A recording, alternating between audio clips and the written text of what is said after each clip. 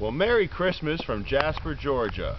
Will and Kerby are here enjoying a lovely white Christmas, which is very rare in the North Georgia mountains.